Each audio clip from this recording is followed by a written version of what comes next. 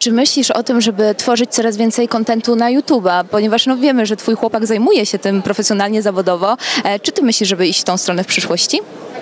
Jakbym myślała, już bym dawno to zrobiła i naprawdę mam tak dużo obowiązków pracy, że jakby nie dokładam sobie tej kolejnej rzeczy, ponieważ jestem osobą, która jak już coś robi, to robi na 100%, a wiem, że po prostu ciężko by mi tutaj było się rozdwoić, rozstroić i, i, i też dlatego. Jeśli jest taka potrzeba, to oczywiście na YouTubie coś opublikuję, ale na pewno nie mam w planach robienia czegoś tak cyklicznie, że jakby zobowiązuję się do tego, że coś będzie się pojawiało systematycznie, to nie.